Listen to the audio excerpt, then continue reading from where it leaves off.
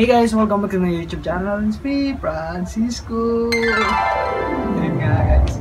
And for today video, syempre nakikita nyo nga sa title is mag-unbox nga tayo ng ito. Addict lang talaga ako sa pag-unbox, pagbili sa online shopping app.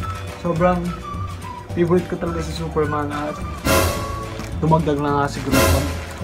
Ang unang-una kong in-order siya sa pop ko pa pop ko pop pan. Tama ba yung pagka, pagka ano is syempre galing siya ng China at in-order ko siya sa Lazada. 400 yata yung price niya tapos yung mas maliit. Yun nga guys. I-unbox na natin. Nabuksa ko na to pero may isa ko ba't ganito? Lagi na ako nagraram sa video ko. Lagi na lang ako naiinis pero bili pa rin ako ng bili sa Shopee at sa Lazada. Adik lang talaga. Yan guys then i-unbox na natin to nakaganto lang siya as in ganto ganto lang yung paghahabalot sa kanya. Para bimili ka lang ng turon. Ang bimili ka lang ng turon sa kanto tapos ganyan na. Wala man naka-tape tape. Sobrang collectible ang pop ko pop ko pa. Ang unang-unang order siyempre si Groot sobrang satisfied naman ako dito.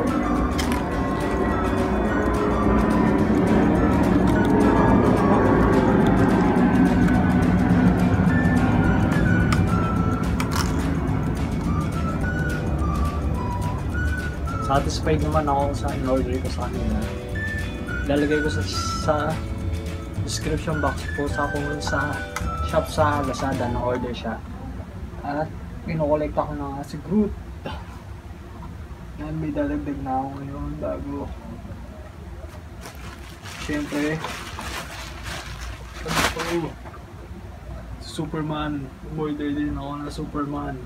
Nyo um, Justice League Justice League 207 original ba to talaga paano ko pa? Hindi ako alam hindi ko alam kung totoo.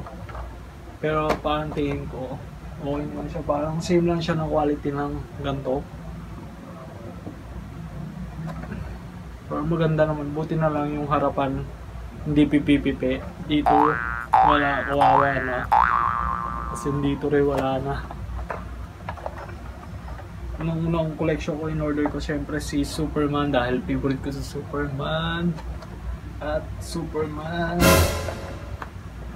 O Superman tayo guys. Yun guys.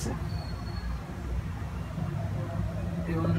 Tatanungin nyo ba ako kung dapat ba talaga umorder ng pop ko pam mga collectible item sa online shop siguro. Hindi kasi sobrang kawawa yung item natin. Tapos yung sticker, tignan mo, nandito pa. Kawawang kawawa naman. Pero ayun. Pero okay naman. Maganda yung quality niya. Tignan natin. Try natin buksan. Unang-una ko pa lang tong popcorn pero medyo mahal na siya. Pero ayun. Ganito lang ba talaga to? Halos kan parehas lang siya. Diba parang walang pinagaiba. Ito 150 tas ito 400 pesos. Parang same lang yung lalagyan lang yung pinagaiba. Pero okay naman siya. Superman. I am Superman. Hindi pa rin ako magsasawang burger.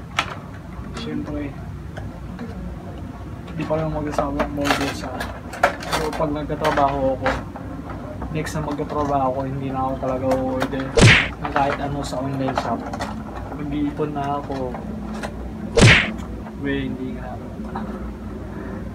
Mag-iipon na ako talaga.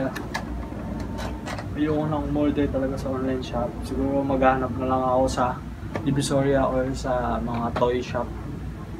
Um, pero tinaray ko lang siya And okay naman siya guys. Tapos umorder din ako. Buti pa to.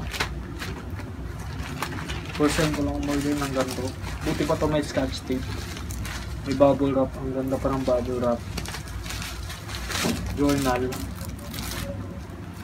Diba, may pa-journal din tayo. Guys, ayun, happy weekend nga pala sa inyo lahat. And thank you for watching again. Hope you enjoy my video at paano. And kung di pa kayo magsasubscribe, please do subscribe and like and comment na lang. And thank you for watching again. Bye-bye. God bless.